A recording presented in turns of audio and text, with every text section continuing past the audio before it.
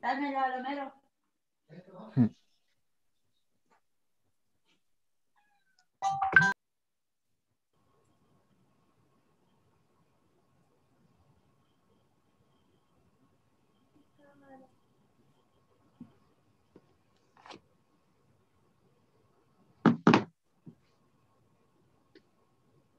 No, no.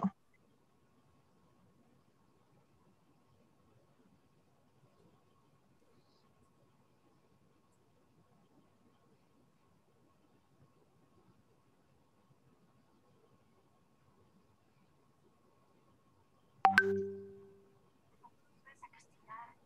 Tú también fuiste chavo, ya sabes que los hombres son muy salvajes. Digo, si quieres, regáñalos, dale su jalón de orejas para que se les quite. Mamá, ya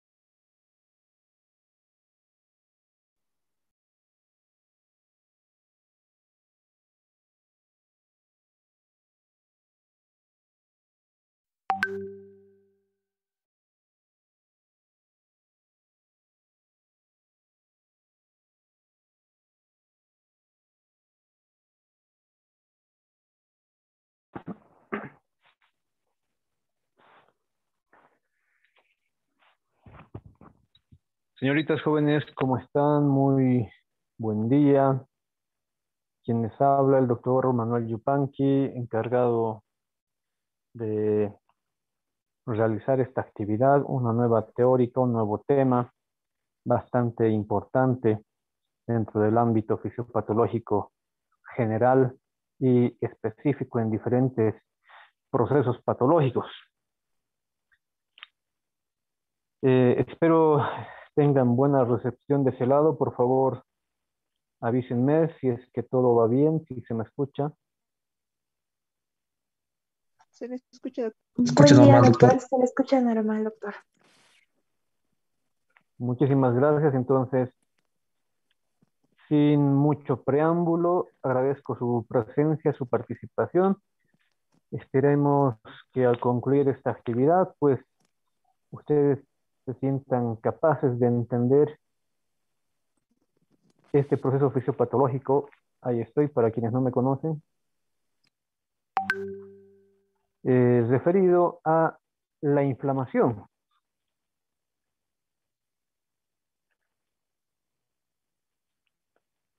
La inflamación como tal, Doctor, antes de iniciar, doctor, perdón que le interrumpa. ¿Puede grabar la clase? ¿O lo podemos hacer nosotros? se está grabando, se está Sí, grabando sí. por si acaso. Eh, pero si alguien más puede hacerlo, le vamos a agradecer y después nos co- comparten el link. He intentado grabarlo en otro dispositivo y me rechaza lamentablemente a mi persona. Así que si alguien más tiene opción, por favor, le vamos a agradecer y nos comparte luego.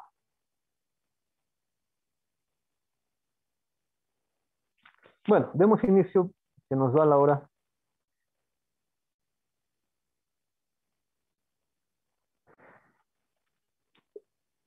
El proceso de la inflamación, o el proceso fisiopatológico de la inflamación,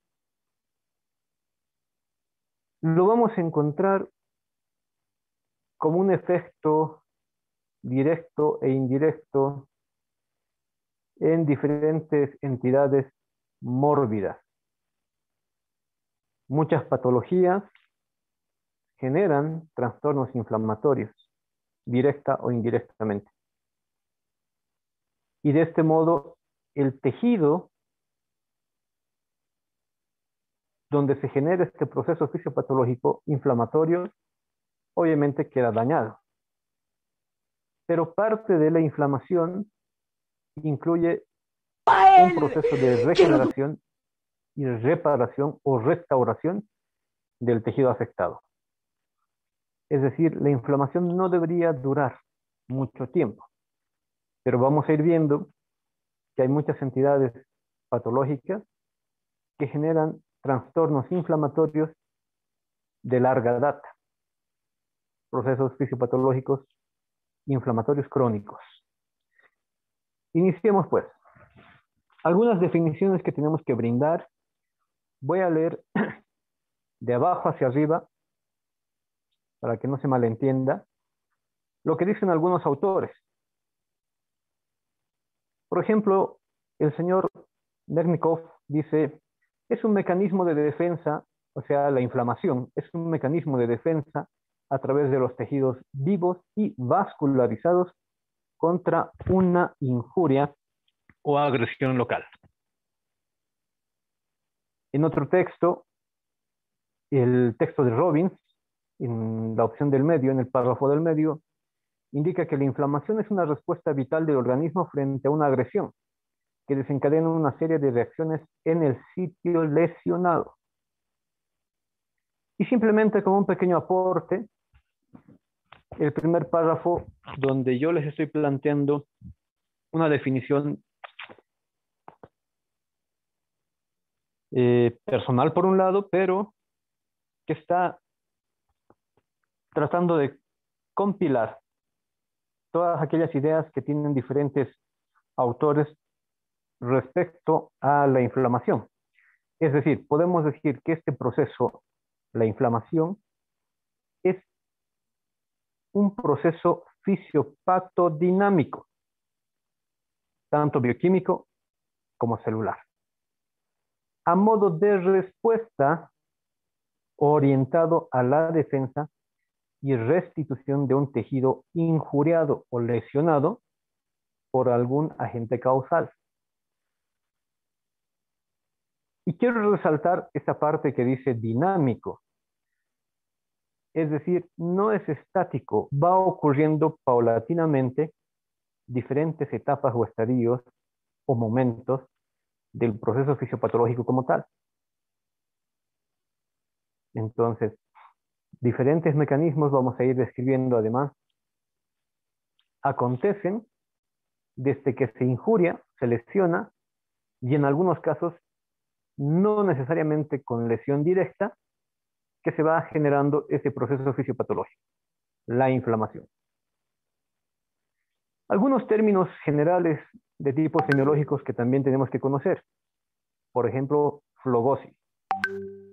La flogosis, que se entiende también como el proceso inflamatorio en el ámbito de la semiología clínica y la medicina en general, es una respuesta protectora cuya intención es eliminar la causa de la lesión celular.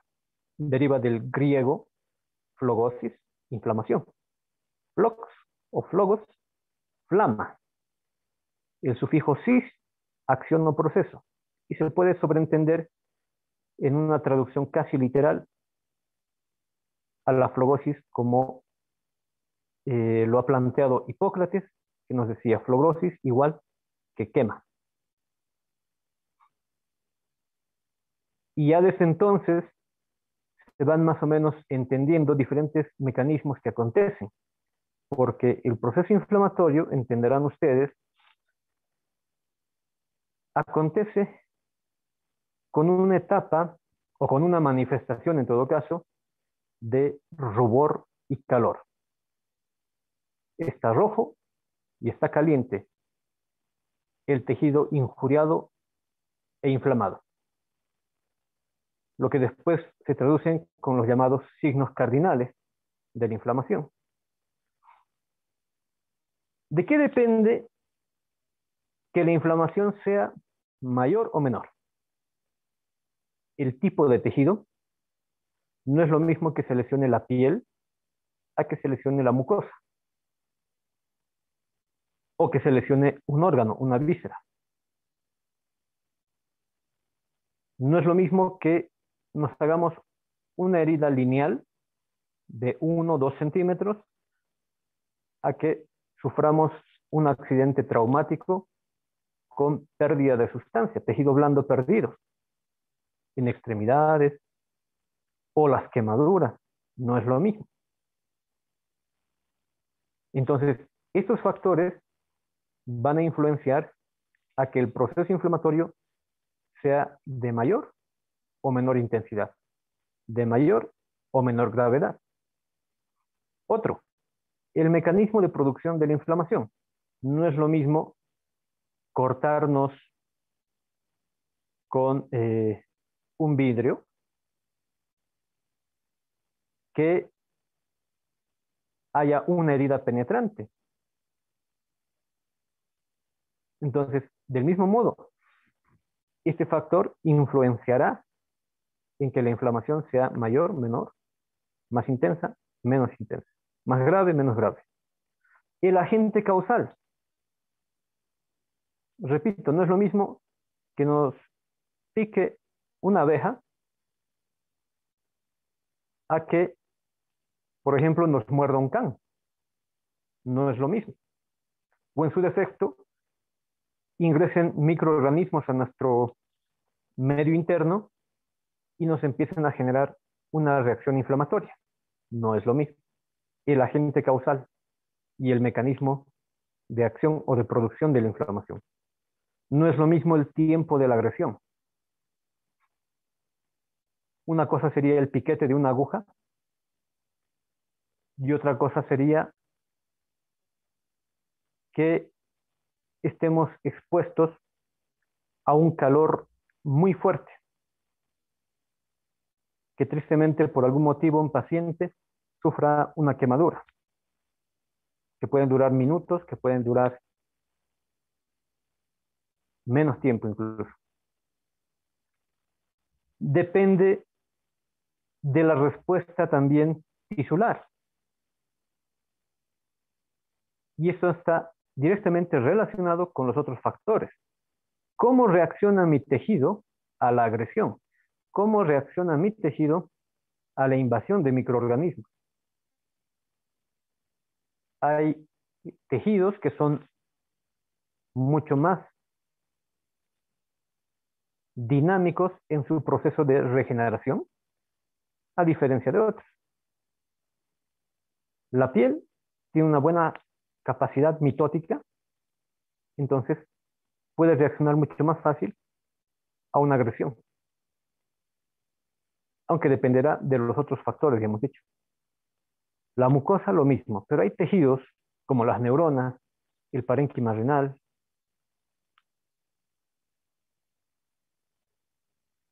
que tristemente tienen un proceso dinámico de división de mitosis o nulo o muy lento. Entonces, para reparar, para mejorar el estado de inflamación,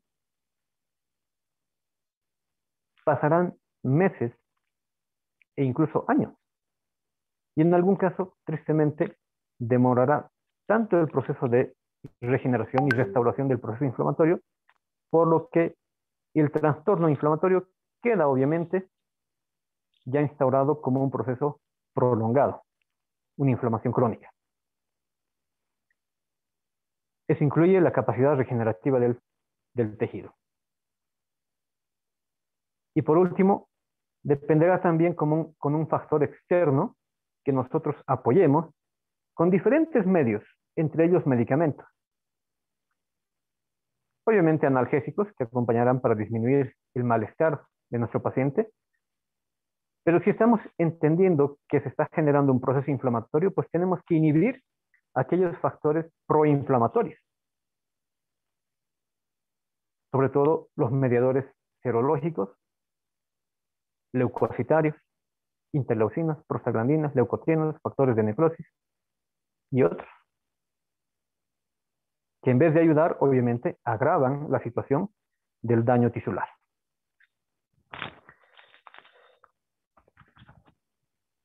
¿Cuáles son los mecanismos que pueden generarnos inflamación?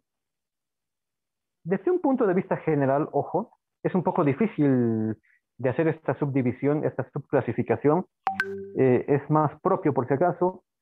No están muchos textos referidos de esta manera, pero podríamos, podríamos catalogar dos grandes mecanismos generadores de inflamación.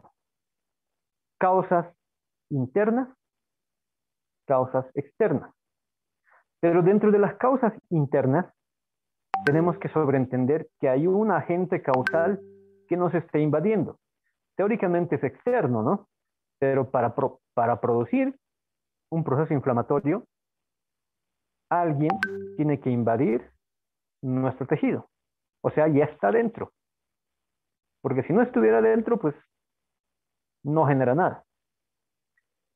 Dentro de esas causas internas podemos reconocer la parte biológica, lo que es habitual, y donde podemos hacer énfasis. Es decir, infecciones, invasión por virus, hongos, bacterias, parásitos. Sobre todo virus y bacterias son los mayores, por decir así, encargados o agentes causales para generar procesos inflamatorios, tanto agudos como crónicos. Un proceso inflamatorio interno estará también mediado por el proceso de respuesta inmunitaria.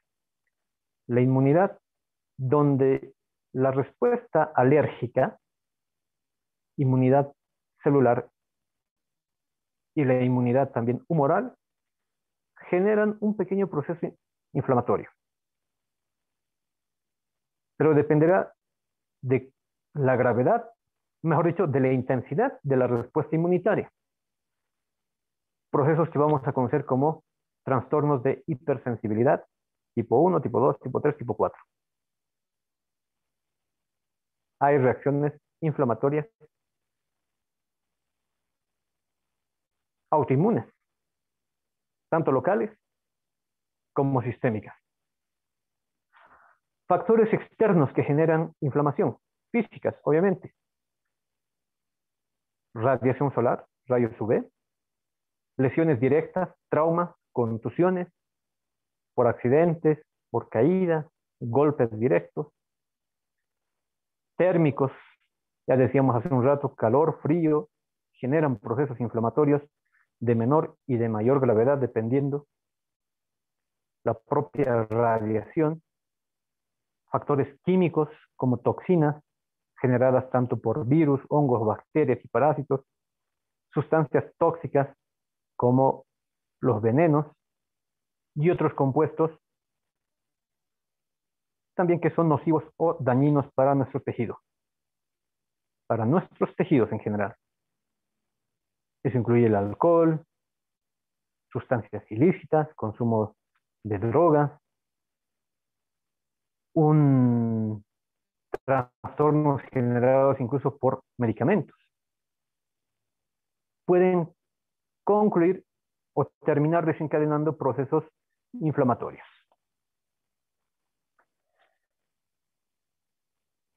Siguiendo la línea del texto de Robbins, por ejemplo, en su segundo capítulo, donde nos habla del tema de la inflamación, podemos encontrar cuatro fases para la inflamación. Obviamente, la primera etapa tiene que ser una agresión, pero dependerá. Dependerá de qué. Si volvemos un segundito acá, incluso podemos decir que hay procesos inflamatorios sépticos o infecciosos y hay procesos inflamatorios no infecciosos. Obviamente los infecciosos abarcan virus, hongos, bacterias, parásitos. Y los no infecciosos estarán mediados por los otros factores, tanto internos como externos. Si me dejo entender. Entonces, pero hay una agresión, directa o indirecta. Y esto genera obviamente una respuesta ya inmediata. En una segunda fase encontramos la reacción vascular, cambios en la vasculatura, en la microvasculatura. Luego se trata de limitar, en una tercera fase, se trata de limitar y evitar que este proceso se disipe, se expanda o se haga más grande o más intenso. Se trata de hacerlo más focal, la localización, para que finalmente el propio tejido, dependiendo de sus capacidades, pues logre entrar en una etapa de regeneración y reparación de el tejido lesionado. Desde un punto de vista clínico, podemos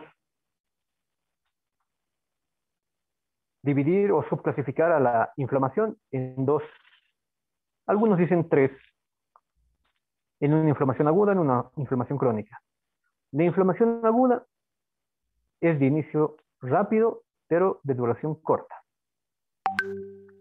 Pueden ser solamente unos cuantos días, exagerando un par de semanas. En cambio, la inflamación crónica ya es más insidiosa. Obviamente, toda inflamación crónica inicia con una inflamación aguda y después se va cronificando. Es decir, tristemente, cuando la inflamación aguda no se logra controlar, solamente se la trata de contener lo mejor que se puede, pero el proceso inflamatorio continúa, esto termina en un estado de inflamación crónica, que puede persistir meses, años inclusive. Generalmente en la inflamación aguda vamos a encontrar un proceso o un mecanismo de exudación. Pérdida de proteínas, pérdida de plasma e incluso pérdida sanguínea, extravasada al lecho perivascular. Hay bastante congestión en la inflamación aguda, vasodilatación. No ocurre así en la inflamación crónica, donde solamente vamos a ver una fiebre blástica, es decir, vamos a ver muchas células proliferativas, de leucocitos sobre todo, y el proceso inflamatorio crónico no es exudativo. No vamos a encontrar con frecuencia los signos clásicos cardinales de la inflamación cuando ya eh, el cuadro inflamatorio se ha prolongado. En la inflamación aguda vamos a encontrar sobre todo leucocitos de tipo mono, uh, polimorfonucleares, los neutrófilos y los monocitos. En cambio, en la inflamación crónica encontramos los linfocitos y fibroblastos. Algunos hablan también de linfocitos, monocitos y fibroblastos. Repito, en la inflamación aguda están los signos clásicos de la inflamación que enseguida vamos a ver, que son la tumefacción, el rubor, el calor y el dolor. Además, el quinto signo cardinal que lo, lo adicionó Virchow, que es el, la impotencia funcional. o una alteración funcional del tejido. Esto no lo encontramos en la inflamación crónica, pero existe una subclasificación que se dice hay un intermedio entre aguda y crónica. Es la inflamación subaguda, que es intermedia, repito, donde podemos encontrar tanto fibroblastos e inclusive eosinófilos. Básicamente, tres componentes son los importantes dentro del proceso fisiopatológico de la inflamación. La vasculatura, los leucocitos y los componentes humorales o la parte bioquímica.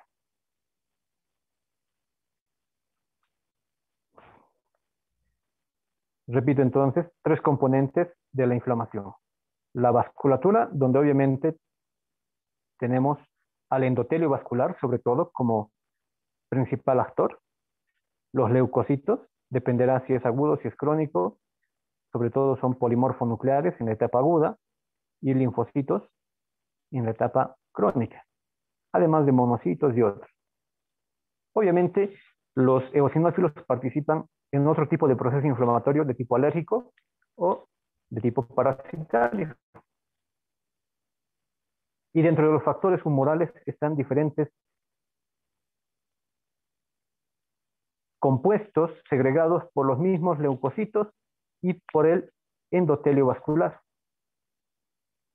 Los macrófagos, los neutrófilos, los linfocitos, las células endoteliales e incluso otros compuestos externos son mediadores químicos que desencadenan diferentes reacciones o procesos en las diferentes etapas de la inflamación.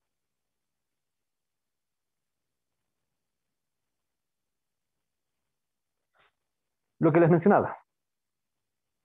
Podemos, de algún modo, sobreentender que hay dos tipos de procesos inflamatorios.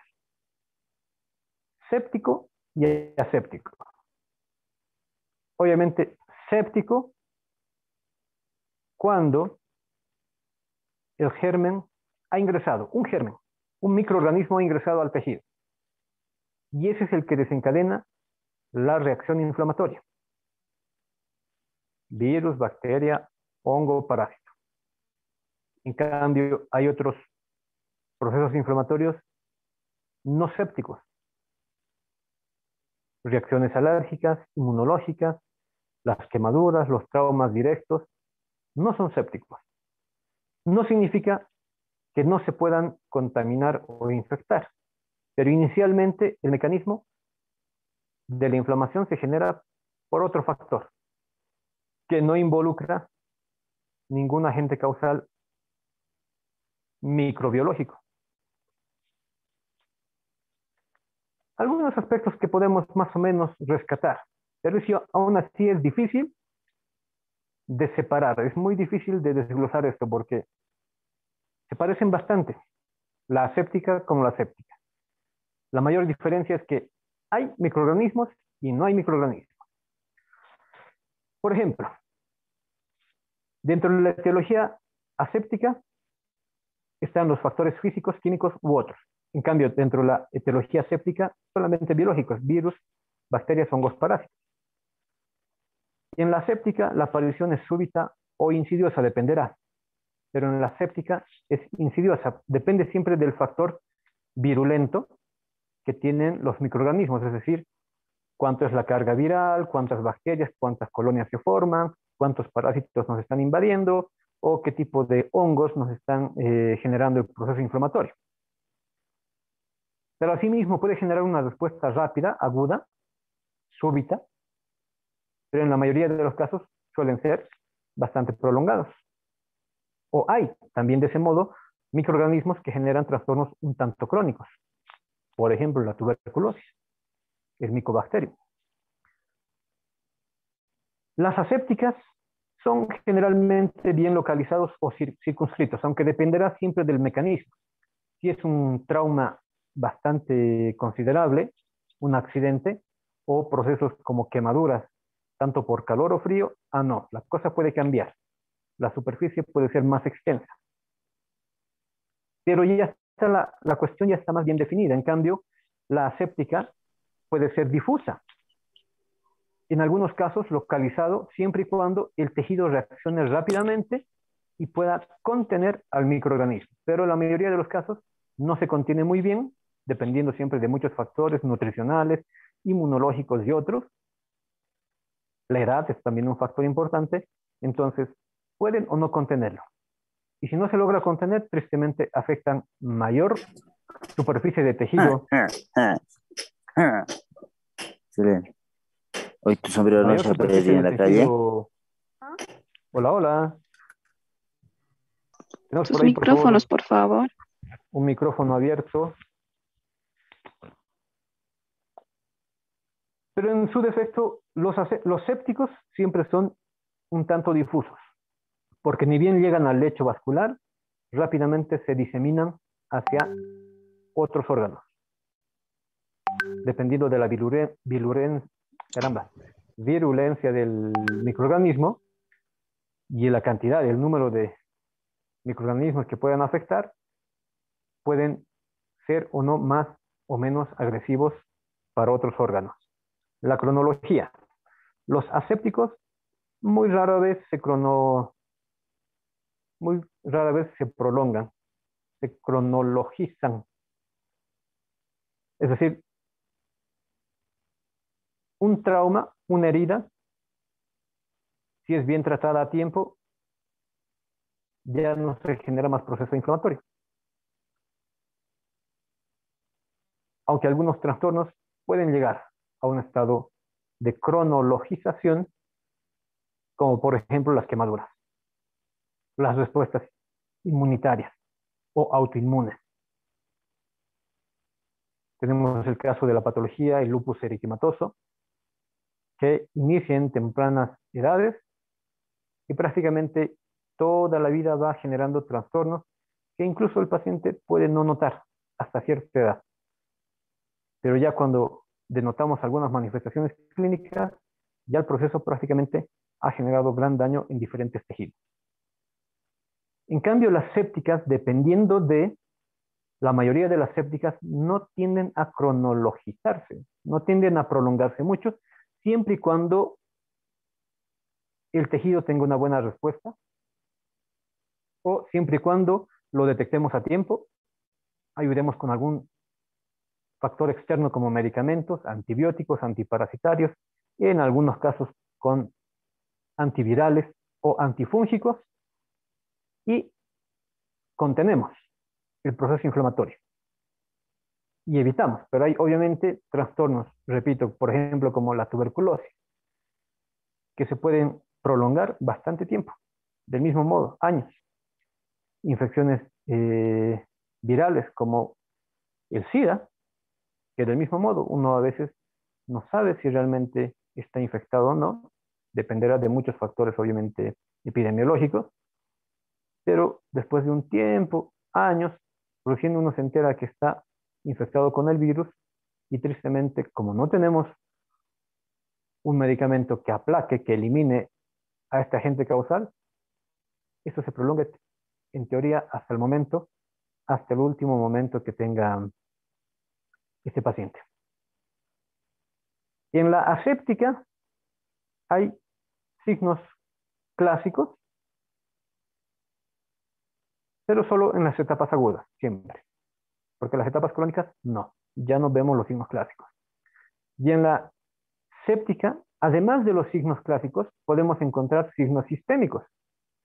Por ejemplo, muchas bacterias, virus, parásitos y hongos nos pueden generar fiebre, malestar general, náuseas, vómitos, trastornos gastrointestinales en todo caso, de modo directo o indirecto, porque son respuestas vegetativas.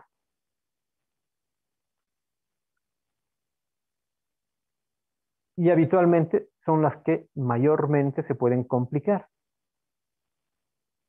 Aunque dependerá también de las asépticas, en algunos casos tienden a generar complicaciones, como ya hemos hablado. El lupus eritematoso no solamente actúa a nivel articular, muscular, sino también a nivel renal y en otros tejidos. Pero bueno, son algunos datos. Les digo, esta tabla no es perfecta.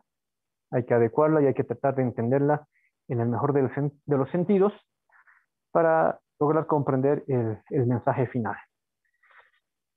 ¿Qué encontramos durante el proceso inflamatorio? ¿Aséptico o séptico? Ya decíamos, hay dos procesos bien eh, reconocidos, salvo en la inflamación crónica. Dentro de la inflamación aguda, en sus diferentes etapas, por ejemplo, en la parte inicial, que enseguida vamos a detallar mejor, vamos a encontrar el trasudado. Y tenemos que ente- entender al trasudado como un ultrafiltrado plasmático que no incluye gran cantidad de proteínas, no incluye gran cantidad de células, leucocitos, e incluso no incluye eh, glóbulos rojos, dependiendo siempre del factor externo, porque si el factor externo es muy agresivo, obviamente va a haber ruptura del lecho vascular, de la microvasculatura, y por ende habrá extravasación de glóbulos rojos en mayor cantidad, una hemorragia. Pero si somos muy textuales, en la inflamación como tal, sin lesión directa del- de la vasculatura, el trasudado incluye ultrafiltrado plasmático, poca cantidad de proteínas, pocos leucocitos y ninguno, ningún eritrocito. Tiene diferentes características, como verán ahí en la tabla, para, para considerar si es un trasudado o es un exudado. Obviamente ya el exudado, el exudado incluye mayor cantidad de proteínas, por encima de 3 gramos de cilitro. Incluye glucosa, aunque la glucosa puede estar disminuida porque ya aquí hay un factor de consumo por el factor estrés o traumático que se genera en el tejido lesionado. Hay diferentes lipoproteínas de baja densidad, o perdón, de alta densidad, las LDH. Hay también gran cantidad de leucocitos, por encima de mil leucocitos, en el lecho perivascular. E incluso aquí ya podemos ver al, al agresor, al agente causal, que ha extravasado además en el intersticio, en el lecho perivascular.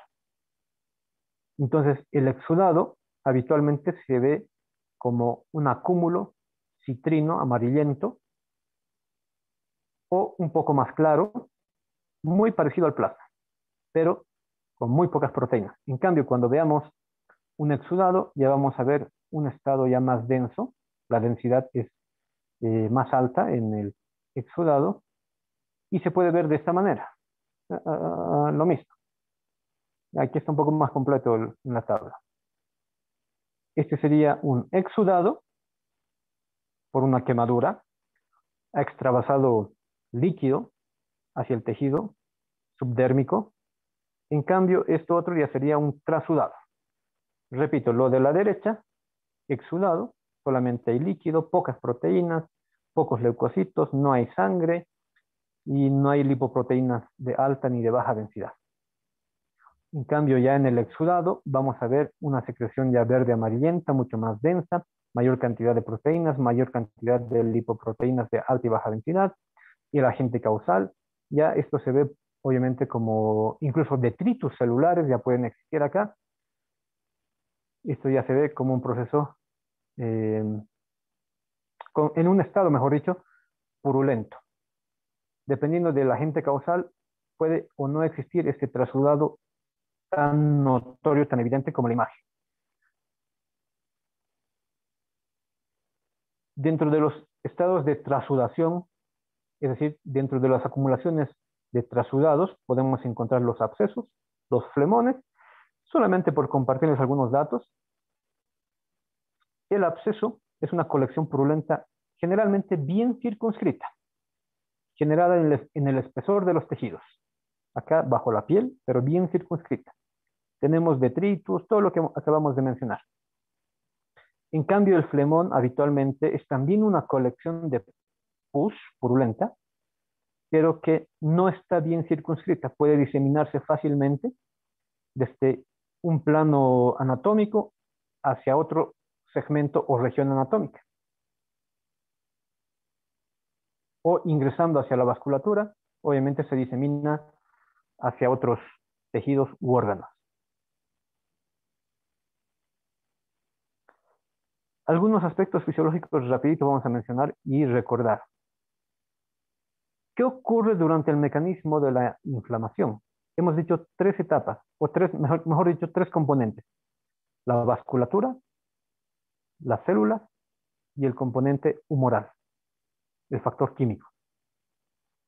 Recordemos bien esta imagen donde en el lecho vascular, tanto arteriolar como venoso, tenemos las eh, llamadas fuerzas de, de Starling, y aquí se reconoce una ley, la ley de Starling, de mayor o menor presión hidrostática, de mayor o menor presión de tipo oncótica. ¿Cuánta agua hay en un lado, en un extremo arteriolar? ¿Cuánta agua hay en el otro extremo venoso? ¿Cuántas proteínas hay en un extremo, el arteriolar, y cuántas proteínas hay en el extremo venoso? Y sumado a eso, o restado en algunos casos, pues también tenemos que ver la presión hidrostática y oncótica del lecho perivascular, del intersticio. Sabemos bien que siempre hay un remanente. Sabemos bien que siempre hay un remanente de más o menos 8 milímetros de mercurio que pueden quedar en el intersticio, es decir, durante todo el proceso fisiológico, el plasma siempre se ultrafiltra hacia el lecho perivascular cuando está pasando del extremo arteriolar al extremo venoso. Siempre hay un remanente, es decir, queda el ultrafiltrado plasmático. Pero, ¿qué ocurre? Mejor dicho, ¿Cómo se compensa esto? Es decir, para que se me entienda un poquito mejor, pero yo, creo que ya saben esto. Aquí tenemos buena cantidad de agua, presión hidrostática, 30 milímetros de mercurio, y acá tenemos menos cantidad de agua y menos presión, por ende, 10 milímetros de mercurio. Quedando un remanente, un juego de presiones de más o menos 5 hasta 10 milímetros de mercurio, de modo fisiológico, lo habitual, lo normal. Pero ese remanente no puede quedar acá como exceso. ¿Cómo se compensa ese remanente? Es decir, ¿cómo recuperamos esa pérdida de plasma? Lo hace la circulación linfática. Los vasos linfáticos captan este ultrafiltrado plasmático, captan eh, algunas algunos componentes lipídicos e incluso pueden captar algunos agentes causales, microorganismos, virus, bacterias. Y lo redirigen hacia la circulación mayor, hacia la circulación sistémica, a través del gran conducto torácico en el mediastino posterior. Esto acontece normalmente, por eso no tenemos inflamación de modo habitual. Pero durante la agresión traumática, eh, autoinmunitaria, por quemaduras y habitualmente por agentes causales tipo microorganismos, virus, bacterias, parásitos, hongos, se rompe este equilibrio de homeostasis hemodinámica en el lecho microvascular. Es decir, hay mayor fuga de plasma con proteína, con célula, con detritus, con agentes causales, con lipoproteína, con glucosa, hay mayor fuga. Y el lecho linfático, la vasculatura linfática, ya no tiene la capacidad de poder captar toda esta fuga excedente que se está produciendo durante el mecanismo de inflamación. ¿Cómo se traduce eso? Que justamente durante la inflamación aguda ocurren cambios vasculares. Para entrar todavía en tema, inicialmente se dice por teoría que hay una vasoconstricción que puede durar simplemente segundos, máximo 10-15 segundos. Una contracción vascular directamente ocasionada por la lesión, por la agresión o por algún factor propio del lecho vascular. Pero segundos después, segundos después, el lecho vascular empieza a dilatarse. Se dilata. Y por ende, cuando hay dilatación vascular, tanto arterial como venosa, hay mayor flujo sanguíneo. A lo que vamos a nominar como la congestión del lecho vascular injuriado, lesionado. Esta mayor congestión, vuelvo a esta imagen, genera lo que estábamos mencionando, una mayor presión hidrostática y que con otros factores como la lesión endotelial, que enseguida vamos a ver, fácilmente pueden exudar, pueden trasvasar al lecho vascular. Entonces, el proceso inflamatorio, que incluye el edema, uno de los signos cardinales, el aumento de volumen, la tumoración, el, rubor, la coloración rojiza del tejido lesionado, injuriado, se debe a este mecanismo. Puede ser pregunta de examen. Cuando el lecho vascular lesionado, injuriado, se vasodilata, ahí se produce la etapa de exudación. Sale plasma. Pocas proteínas, pocas, pocos leucocitos, pocos eh, lípidos de alta o de baja densidad, lipoproteínas, poca cantidad de azúcar, de glucosa, pero ya se está exudando. Este es el proceso inflamatorio como tal. Bueno, en todo caso, la etapa de aumento de volumen, el edema, la tumoración. Pero como el lecho vascular está dilatado, hay mayor flujo sanguíneo. Ahí se produce el rubor. Y junto con, el mayor, con la mayor cantidad de flujo sanguíneo, deviene el calor. Este simple proceso de vasodilatación entonces nos genera los tres principales signos cardinales. Tumor o tumefacción, aumento de volumen, rubor y calor. El cuarto signo cardinal, que es el dolor, obviamente irá acompañado ya de eh, irritación o lesión directa de el tejido neuronal, de los nervios que estén adyacentes a este lecho vascular o a este tejido injuriado o lesionado. Sobre todo mediado por factores bioquímicos como la interleucina, el factor de necrosis tumoral, la histamina, serotonina, iones hidrógeno, potasio y otros que han debido ver en, en el anterior tema. Y este proceso desencadena una serie de respuestas ya celulares y humorales a su vez. Una vez que hay mayor vasodilatación, recuerden que inicialmente en estado normal, vuelvo acá, la sangre fluye de modo laminar. Los glóbulos rojos van de modo lineal, como una carretera, del lecho arteriolar al lecho venoso, de izquierda a derecha, pero en, en sentido lineal, rectos, por una sola vía. Habitualmente, una vía pero de tipo concéntrica. Pero cuando ya ocurre la vasodilatación, los glóbulos rojos, primero, pierden su velocidad. Porque para empezar, por, la vasodilatación, hay mayor cantidad de glóbulos rojos. Y como se está perdiendo plasma, se está ultrafiltrando, se está generando el exudado, los glóbulos rojos se están haciendo más densos.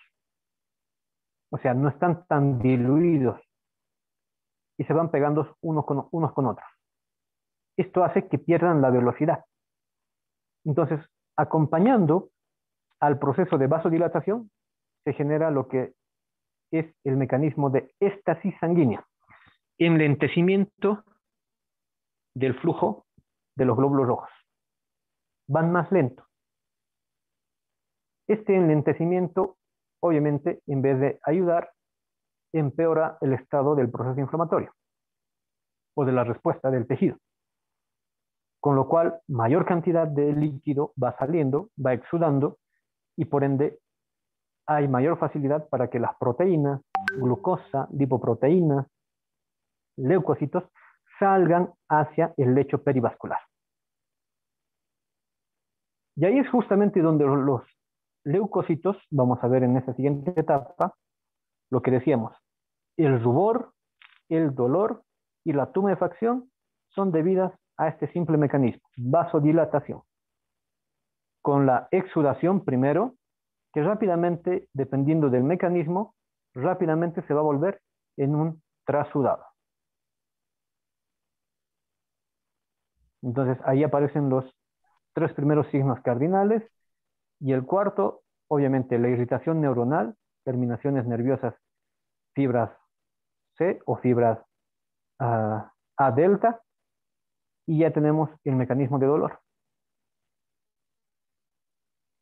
Lo que acabo de mencionarles.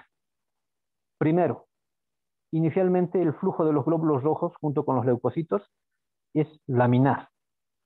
Es más, los leucocitos habitualmente, según la teoría, van en la parte central, no están pegados hacia la pared del vaso. En cambio, los glóbulos rojos sí, mantienen hileras concéntricas desde la pared vascular hasta el centro. Pero cuando ya estamos en el proceso ya de la injuria, la inflamación, se está generando entonces, el leucocito o los leucocitos, perdón, los glóbulos rojos, primero se enlentecen. Hay menos líquido, se hacen más, más densos, más pegajosos entre sí y se van aproximando. Estasis sanguínea. Y los leucocitos, los glóbulos blancos, ah, dicen, aquí, acá está pasando algo. ¿Por qué hay tanto alboroto? ¿Por qué los glóbulos rojos están ahí haciendo congestión? ¿Por qué no están fluyendo como debe ser normal? Entonces los leucocitos, como policías que se los puede considerar, fácilmente se van aproximando hacia las paredes del vaso sanguíneo. Vamos a ir a verlo rápidamente. Lo mismo, se endentece el, el flujo de los glóbulos rojos, estasis sanguínea, y los glóbulos blancos dicen, no, no, no, ¿qué pasa acá? Entonces van hacia el punto de la lesión y si alguien ya les llama por radio y les dicen, vengan acá por favor, tenemos unos invasores, unos intrusos que están dañando el tejido. Y están generando todo un daño a las células de, este segmento, de este órgano. Entonces los glóbulos los glóbulos blancos, llamados y avisados de este modo, van a migrar hacia el lecho perivascular. Enseguida vamos a ver que hay un proceso muy importante para, este, esta etapa, para esta fase, que es justamente la quimiotaxis. Esta es sanguínea y los glóbulos blancos generan un mecanismo de movimiento que vamos a ver enseguida que son la marginación, la adhesión con el rodamiento y después la transmigración. Rapidito, otra vez hablamos del trasudado y el exudado. El trasudado, poco líquido, pocas proteínas.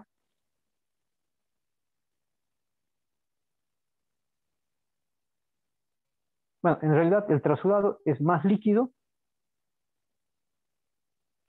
pocas proteínas, poca glucosa, pocas células blancas, pocas lipoproteínas, es más líquido. El exudado ya tiene más componentes. Proteínas, lipoproteínas, más azúcar, leucocitos, detritos e incluso el agente causal si es generado por una, por una bacteria, por un virus, parásito, hongo. Eso genera el edema, el aumento de volumen y dependiendo si hay rotura de los vasos, un moretón, una equimosis, un hematoma.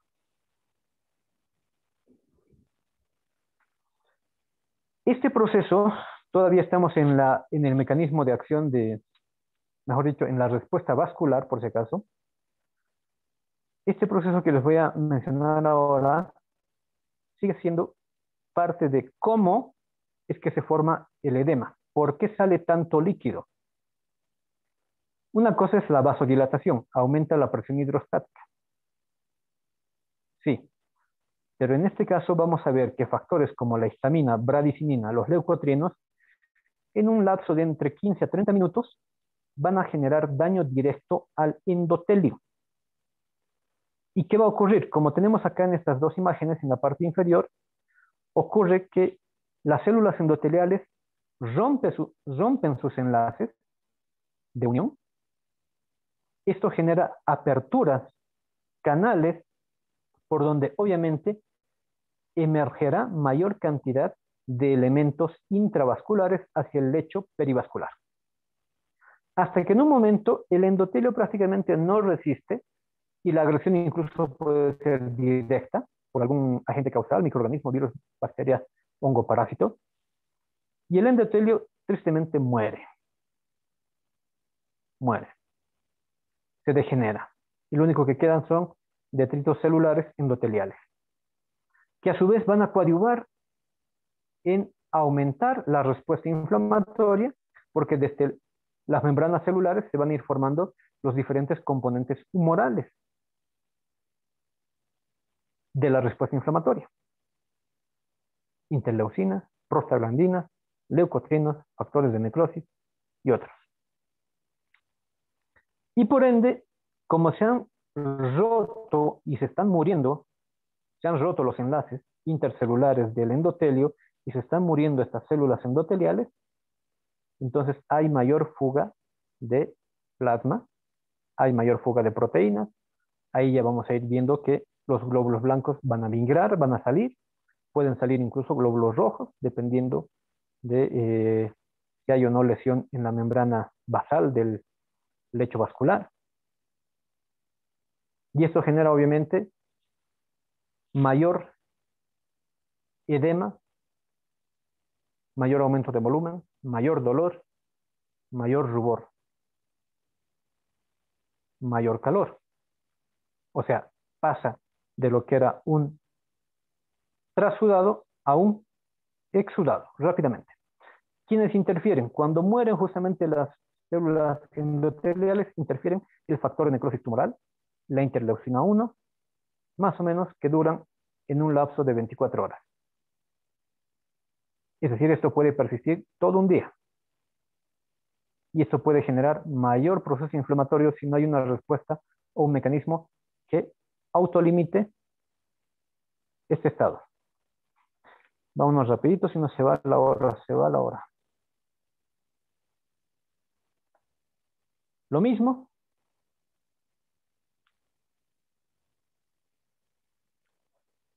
En ese proceso de destrucción del endotelio se generan muchos factores, como la trombomodulina, proteína F, la proteína C, derivados de este endotelio, la antitrombina 3, prostaglandinas de tipo I2, el óxido nítrico, endotelinas, factores de necrosis tumoral, interleucina 1, selectinas e integrinas.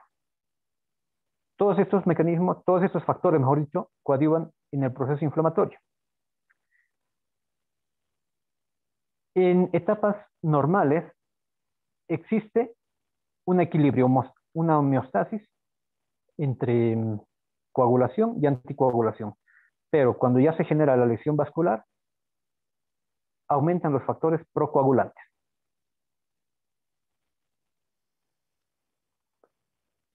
Aquí vemos que el endotelio obviamente participa en todo este proceso de coagulación y anticoagulación.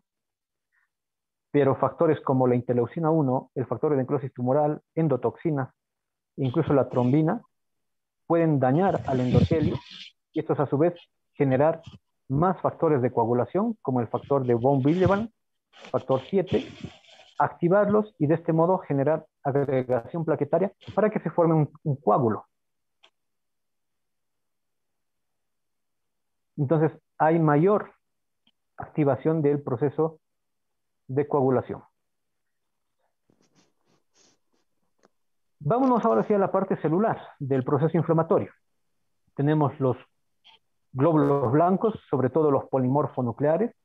Inicialmente pueden eh, actuar, obviamente, las células eh, monocíticas macrofágicas, en este caso los macrófagos, que están ya asentados en el tejido, pueden ser los primeros en actuar.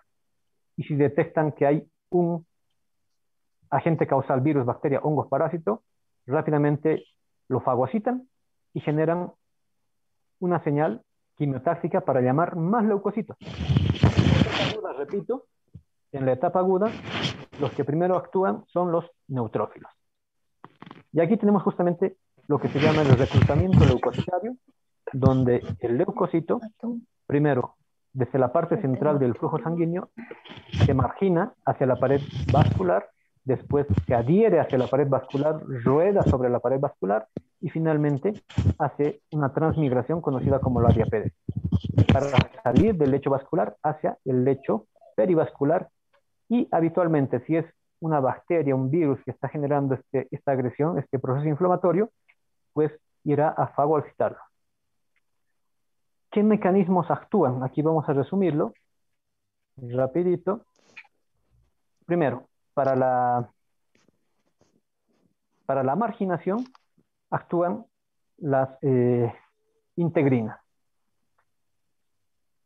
Tienen diferentes eh, antígenos de superficie, los leucocitos, que ayudados con la matriz intracelular, con el citoesqueleto, van a llegar hasta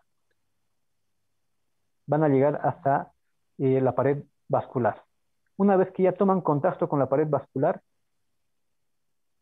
sus antígenos de superficie, que son en este caso las glucoproteínas tipo Cialil Lewis X, se adosan o se acoplan con las llamadas selectinas P, selectinas E, que tienen la superficie de las células endoteliales sanas todavía, las células endoteliales vigentes, normales, y generan una pequeña adhesión que no es fuerte y que fácilmente permite generar una fase de rodadura o rodamiento por la pared vascular. Hasta que llegan a un punto donde tienen un hueco, vamos a decir, en la pared vascular y pueden salir, y pueden salir del lecho vascular hacia el intersticio. Y esto lo hacen a través de las llamadas integrinas las integrinas, pero ya activadas o de alta afinidad.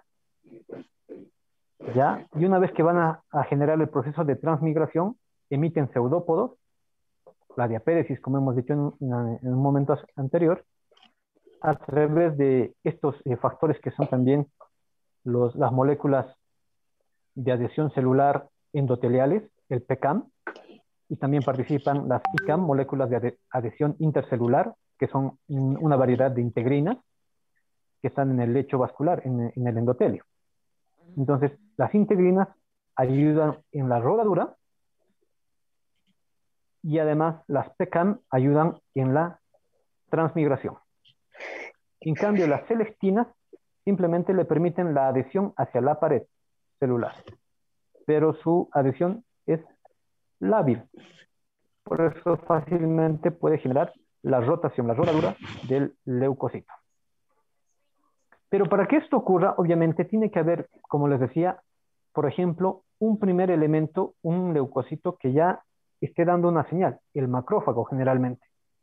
El macrófago o en, algún caso un monocito que esté en, la región, en el tejido ya lesionado, que son, eh, por ejemplo, también las células presentadoras de antígeno, eh, las células dendríticas en este caso, son las que primero pueden actuar si es que están en el tejido lesionado. y fagocitan al microorganismo, lo degradan y se vuelven como células presentadoras de antígeno, además generando otras citocinas como más factor de necrosis tumoral, interleucina 1, que esto aumenta el proceso de eh, inflamación y además genera diferentes cambios a nivel de las células endoteliales, así como van a generar también estos mismos eh, factores quimioatrayentes. El endotelio lesionado también genera, estas moléculas que se conocen como las quimiosinas. Aquí tenemos en resumen las diferentes moléculas de adhesión y su participación en diferentes etapas del reclutamiento celular. Selectina P, selectina E, rodadura, rodadura. En cambio, las ICAM y las BCAM, moléculas de adhesión intercelular, moléculas de adhesión eh, celular vascular, actúan en la adhesión y en la transmigración. En la transmigración, la CD31, que puede ser pregunta de examen, que son estas, las PCAM por si acaso, moléculas de, adhesión celular eh, de las plaquetas endoteliales de plaquetas, así se llama. La quimiotaxis, rapidito, es la migración leucocitaria. O sea, hay un factor químico, es como, decir, es como llamar por radio entre policías. Por favor, camaradas, se requiere aquí de esfuerzos. Vengan por favor a tal sitio, estamos siendo agredidos, atacados, tejido lesionado, ya hay muertos. y tienen que venir rápidamente los, eh, los propios neutrófilos o algunos otros otras células eh, leucocitarias, dependiendo siempre del agente agresor. Si son parásitos, obviamente, más actuarán tal vez los eosinófilos, si son virus, sobre todo más actuarán los linfocitos, y en el caso de bacterias, siempre actúan eh, los neutrófilos, los polimorfonucleares. ¿Quiénes desencadenan este, esta respuesta quimiotáctica? Por ejemplo, el complemento 5A o 5 activado, el complemento 4, el leucotrino B4, el, tromboxano A2, el factor activador de plaquetas, la interleucina 1, la interleucina 8, otros factores estimulantes de colonias eh, derivados de las bacterias, por ejemplo, la N-formilmetionina 2, que también puede ser pregunta de examen, como factor quimio atrayente. Ellos son los, son los, es decir, es el rastro que se deja químico para que el leucocito reconozca y diga, ah, no, aquí algo está pasando, aquí hay un proceso de daño y lesión del tejido, tenemos que estar acá. Y siguen llamando y siguen reclutando más eh, leucocitos al sitio de la injuria o de la lesión. Hay muchas eh, quimiosinas, muchas quimiosinas. Eh, son una familia de proteínas pequeñas de 8 a 10 kilodaltones las que mejor participan son las quimiosinas CXC, que son quimiotácticas para neutrófilos. En cambio, las quimiosinas CC son quimiotácticas para monocitos, eosinófilos, basófilos y linfocitos. Y las quimiosinas C solamente hacen la quimiotaxia para los linfocitos. Y así hay una variedad general de, de factores quimiotácticos, pero esta es otra gran familia. Lo mismo, la familia de los quimioatrayentes o las quimioquinas. Hay muchos, muchas quimiosinas, interleucina 1, interleucina 6, factor de necrosis tumoral alfa, las propias quimiosinas, interleucina 10, factor de crecimiento tisular, interleucina 2, interleucina 18, y muchos eh, factores de estimulantes de colonias de monocitos, de granulocitos, de eosinófilos y de crecimiento también endovascular. Las quimiosinas actúan justamente eh, en respuesta también a la interleucina 8, que es una de las quimiosinas además, la quimiosina XCR1. Ah, no, este es su receptor, mejor dicho, es un receptor para esta quimiosina, interleucina 8, y esto genera una, respuesta intercelular que eh, lleva obviamente a que el, leucocito ya activado reconoce el sitio de la lesión y genera el proceso de adhesión, de rotación y de transmigración celular. Pero además, en el propio leucocito, puede ser el macrófago, puede ser el neutrófilo, despierta una serie de reacciones intracelulares para generar diferentes factores em, nocivos para un agente causal, para el virus, para la bacteria, para el hongo, para el parásito. Por ejemplo, eh, radicales de óxido. También podemos tener óxido, perdón, eh, peróxido de hidrógeno y podemos tener otros, eh, otras especies reactivas del oxígeno que son derivados de un proceso también oxidativo como tal. Bueno, es un proceso un tanto complejo que ocurre acá dentro intracelularmente para generar tanto la quimiotaxis y la degranulación, ya además de la adhesión y, eh, y la producción de algunas enzimas que ayudan a eliminar y van a eliminar en todo caso a los agentes causales, sobre todo cuando son de tipo biológicos, virus, bacterias, hongos, parásitos. Lo mismo, un mecanismo bastante complejo realmente, que hay que entender. Eh, no vamos a hacer mucho énfasis acá. Aquí están las células involucradas en la inflamación y cómo participan. Por ejemplo, aquí tenemos al macrófago.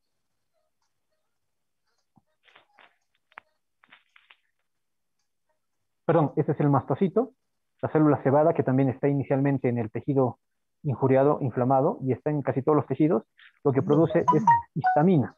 Y la histamina es uno de los factores importantes para la vasodilatación, junto con el óxido nítrico generado por el propio endotelio. Después tenemos otra vez el, mastocito, célula cebada, todo lo que produce y qué mecanismo va, va a generar durante el proceso inflamatorio.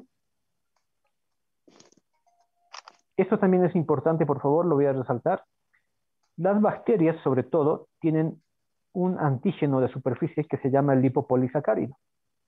Ese lipopolisacárido genera activación leucocitaria, sobre todo neutrófilos. Este lipopolisacárido se, eh, se acopla a su receptor tipo CD14, unido al receptor eh, y estos a su vez desencadenan diferentes mediadores para producir eh, diferentes factores humorales, entre ellos tenemos factores derivados del ácido araquidónico, como las citocinas, eh, prostaglandinas, interleucinas y otros, además de, los, de las especies reactivas del oxígeno, están el, el, oxígeno, radicales de oxígeno, están el peróxido de hidrógeno, entre otros para obviamente ya empezar un, mecanismo de defensa, de ataque para el agente causal. ¿Cómo actúan los receptores tipo TOL? Generan igual diferentes mecanismos dentro de, de la célula, dentro del leucocito. Estos a su vez van a generar, dependiendo del tipo de leucocito, macrófagos, neutrófilos, tienen capacidad fagocitaria, entonces generan este mecanismo de digestión del agente causal. Y hay otros factores que son complemento, sobre todo cuando hablamos de procesos inflamatorios derivados de una infección, virus, bacteria, hongo, parásito. Y se llama el mecanismo de la opsonización, que es una respuesta celular y a su vez humoral. El linfocito B, una vez que llega al sitio lesionado, injuriado, se activa y se vuelve en célula plasmática y sabemos bien que las células plasmáticas segregan o generan anticuerpos, inmunoglobulinas, inmunoglobulina G, inmunoglobulina E, inmunoglobulina M, inmunoglobulina A. Y todos ellos actúan a nivel de los diferentes agentes causales. ¿Cómo es el mecanismo? Simplemente la inmunoglobulina se adhiere a su sitio de acoplamiento sobre la superficie del el microorganismo, virus, bacteria, hongo, parásito, y el leucocito lo reconoce. Hay un, hay un término que vamos a resaltar acá. Opson, opson, es decir, la opsonización, se le entiende como opson, como sazonar. Es como si lo estuviéramos sazonando al microorganismo con inmunoglobulinas y ahí también participa el complemento, el, C53 activado y el C3 activado. Entonces, ellos se adhieren a la superficie de la bacteria, del virus, del parásito, la opsonizan, la sazonan, y el microorganismo, como ven en el- en el esquema, lo reconoce y luego lo fagocita y lo elimina. Y si es un neutrófilo, se vuelve una célula presentadora de antígeno para que otros microorganismos lo reconozcan. Tienen sus receptores propios para las inmunoglobulinas. No vamos a hacer mucho detalle. Las inmunoglobulinas que ya conocemos, G, IgG, IgA, IgM, IgE, IgD. Unas son pentaméricas, monoméricas, diméricas, monoméricas. Y en los diferentes mecanismos que participan. Lo mismo, las inmunoglobulinas, el mecanismo de opsonización y fagocitosis. El complemento actúa, eh, sobre todo hemos dicho, el C3b participa en la opsonización, puede ser pregunta de examen, y el C5a participa en la inflamación. ¿ya? Como desencadenantes para la inflamación y para la opsonización. Lo mismo, algo más complejo.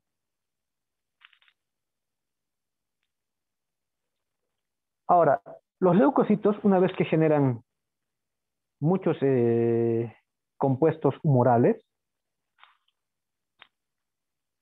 radicales de oxígeno, eh, hidróxido o peróxido, de hidrógeno y otras especies reactivas del oxígeno, directamente pueden lesionar a el tejido. Por ejemplo, los, los, neutrófilos pueden generar un síndrome de distrés respiratorio solamente por la respuesta de los neutrófilos.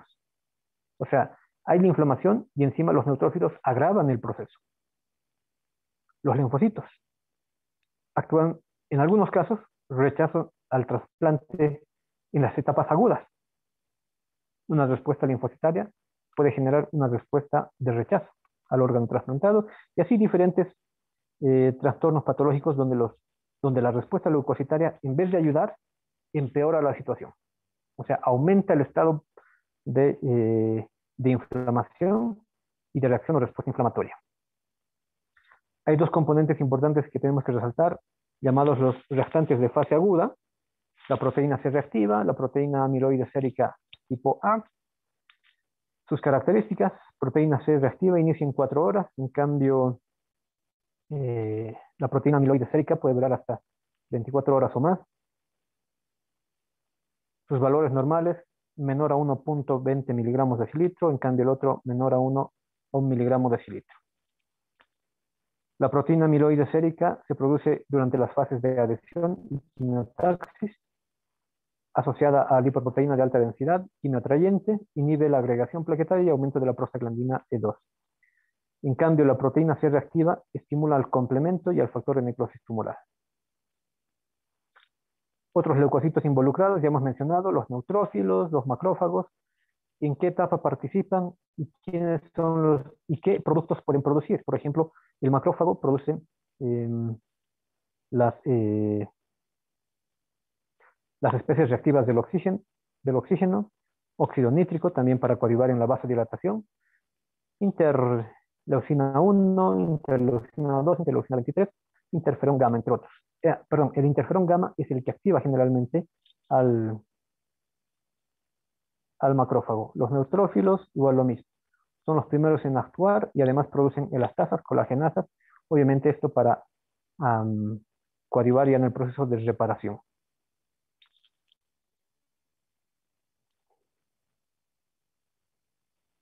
Los monocitos y cómo actúan.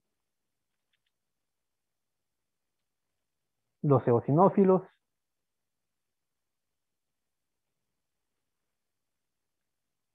y los linfocitos.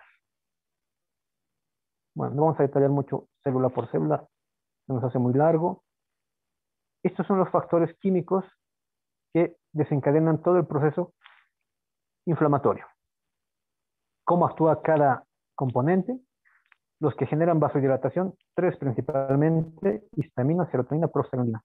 Pero obviamente dentro de la vasodilatación está la actuación propia del endotelio, y ya hemos dicho, mediante la producción de óxido nítrico, es otro potente vasodilatador.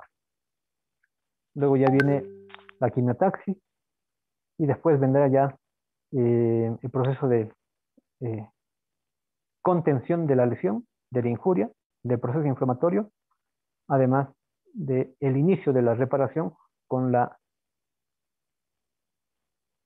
angiogénesis, formación de nueva vasculatura.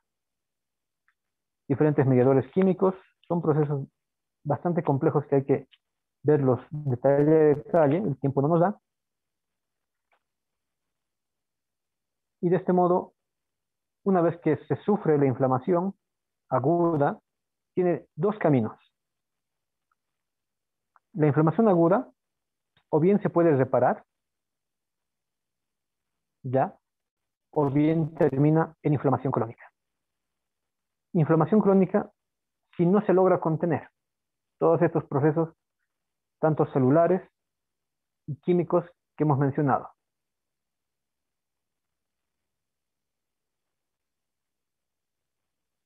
Lo mismo, cómo ocurre el mecanismo de, ya de reparación.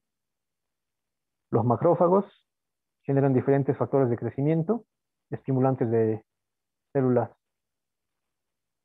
que al final de cuentas generan fibroblastos. Los fibroblastos generan fibrina, produce un tapón de coágulo y en el lecho vascular también se puede aumentar la matriz extracelular con mayor cantidad de fibrina y otros componentes para ya empezar a generar la reparación del tejido. La inflamación crónica ocurre justamente cuando no se contiene bien a la inflamación aguda y está mediada sobre todo por linfocitos. Pero los linfocitos otra vez despiertan a otras células como los macrófagos y este es un ciclo continuo que puede persistir en diferentes patologías, mediado por el factor de necrosis tumoral e interferón gamma. El interferón gamma, como decíamos, activa al macrófago. En cambio, el factor de necrosis tumoral y la interleucina 1, así como otras interleucinas, siguen activando a, a otras células, a otros leucocitos, para generar más inflamación aguda o para despertar también a más linfocitos. Eh, la inflamación, tanto aguda y en algunos casos la crónica, puede generalizarse. Se puede volver una inflamación de tipo sistémica. Aquí lo único que tenemos son los parámetros para entender a una inflamación sistémica, eh, conocida como el SIRS, síndrome de respuesta de inflamación sistémica, que tiene estas características relevantes, sobre todo cuando atendemos a pacientes en urgencias que la temperatura sea menor a 36 grados o mayor a 38, que los latidos del corazón estén por encima de los 90 por minuto, que haya aumento de la respiración, taquipnia, mayor a 20 respiraciones por minuto, o que la concentración de dióxido de carbono sea menor a 32 milímetros de mercurio. Que los glóbulos blancos estén por debajo de 4000 o al revés, por encima de 12000. Entonces, estos factores son criterios propios de un estado de respuesta inflamatoria sistémica, donde si tenemos dos criterios y encima encontramos que hay un foco infeccioso, se considera un paciente ya séptico, una respuesta inflamatoria generalizada, debida a una infección viral, pero sobre todo bacteriana, son los virus los que generalmente producen un foco séptico, o algunas parasitarias también eh, y, algunas fúngicas. Entonces, síndrome de respuesta inflamatoria sistémica es la diseminación general de un proceso inflamatorio magnificado en respuesta a un cuadro infeccioso diseminado, con cambios metabólicos y manifestación clínica sistémica, mediado por estos factores son importantes durante la inflamación sistémica. Interleucina 1 siempre participa, el factor de necrosis tumoral alfa siempre participa, interleucina 8 como quimioatrayente además, la prostaglandina I2, que también es un, bastante, es un conocido vasodilatador, junto con el óxido nítrico. O sea, estos mecanismos son similares, solamente ya eh, agrandados, podemos decir, aumentados. Repito, ¿qué es lo que sucede en parte durante el proceso de injuria? Los fosfolípidos, los fosfolípidos de la membrana celular sabemos que tienen dos componentes, una porción, la cabecita, la porción de la cabeza que es eh, lipídica, que es hidro, hidrofóbica, en cambio las colitas, que son eh, hidrofílicas. Entonces, de los fosfolípidos, cuando se destruye la membrana celular, tanto de las células basales del lecho ca- capilar, así como las células endoteliales, a través de una enzima que es la fosfolipasa, se obtiene el ácido araquirónico. El ácido araquirónico, a través de dos enzimas más, como son la ciclooxigenasa, que tiene dos variedades, la COX-1, la COX-2, o la lipoxigenasa, se van a generar los diferentes componentes humorales de la inflamación. Por un lado tendremos tromboxanos, como el A2, va- un vasoconstrictor muy importante, prostaglandinas, como la I2, la I2 que es un vasodilatador también importante y además inhibe la agregación plaquetaria, otras prostaglandinas además, la D2, la E2, y tenemos la lipoxina A4, li- la lipoxina B4, que inhiben la adhesión y quinotaxis de los neutrófilos. Pero estos no son los que nos interesan, simplemente se- esta es una tabla de qué es lo que sucede desde el ácido araquidónico. Leucotrinos A4, C4, D4, E4 y algunos componentes quimiotácticos, como el leucotrino B4, participan en el proceso inflamatorio. Lo mismo, rapidito, un resumen. ¿Y qué tenemos que hacer entonces? Ya se ha generado el proceso inflamatorio, ya hemos visto que todo este mecanismo está ocurriendo rápido. En horas se instaura la inflamación. Bueno, en minutos y en horas persiste la inflamación. Entonces podemos agregar, mejor dicho, podemos administrar antiinflamatorios además de analgésicos, ¿no? Para disminuir el edema, para disminuir eh, mayor liberación de factores humorales, para disminuir la agresión directa al tejido lesionado. Si es por virus, bacterias hongos, usaremos obviamente antibióticos, antiparasitarios, antifúngicos. Muy raro usar antivirales, pero en algunos casos se puede hacer uso. Pero lo que tenemos que hacer es usar antiinflamatorios. Tenemos antiinflamatorios muy básicos, como los antiinflamatorios no esteroideos. Algunos son selectivos, otros no son selectivos. Paracetamol, ibuprofeno. Aunque el, paracetamol no, no se lo considera tan antiinflamatorio, pero también se puede usar. Indometacina, ibuprofeno, naproxeno, diclofenaco, meloxicam, pero piroxicam, otros, la aspirina. Pero estos antiinflamatorios, ¿dónde actúan? Actúan acá. Cuando ya se ha generado el ácido araquidónico, actúan inhibiendo a las enzimas COX-2 y COX-1, a la ciclooxigenasa 1, ciclooxigenasa 2.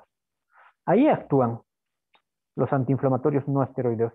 En cambio, los antiinflamatorios esteroideos, ¿ya?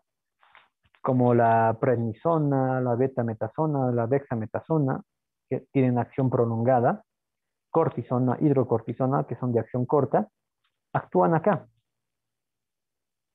inhibiendo a la fosfolipasa A. Entonces, estos antiinflamatorios son perfectos, pero estos antiinflamatorios son más adecuados en teoría, porque así, en este caso, desde los fosfolípidos ya no se segrega el ácido araquidónico. En cambio, los AINES solamente actúan acá. Cuando ya se ha producido el ácido araquidónico, lo único que están evitando es que no se produzcan los factores humorales, las prostaglandinas. Y todos los factores humorales generados por los leucocitos. Rapidito, mecanismo de acción, no vamos a hacer mucho énfasis. Ya está acá.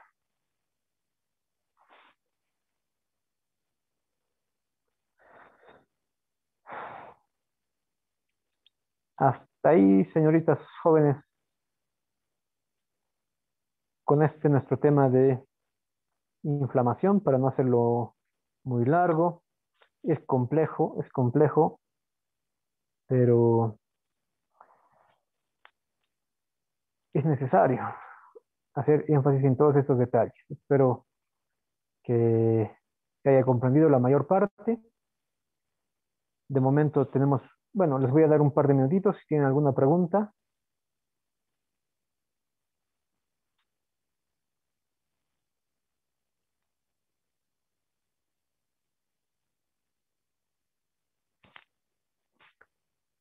Hola, hola. A ver en el chat qué dicen. Ah, muchas gracias, muchas gracias, gracias. Bueno, supongo que tienen otra actividad. No quiero perjudicarles. Hasta aquí de momento, muchas gracias por su atención. Muchas gracias por haber participado en esta actividad teórica. De cualquier forma,